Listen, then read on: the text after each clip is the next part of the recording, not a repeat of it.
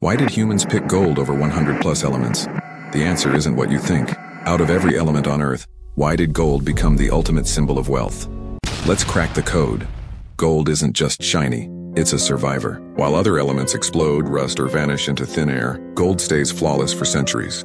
Ancient civilizations obsessed over it because it doesn't corrode, react with air, or poison you. Imagine carrying cash that explodes in your pocket.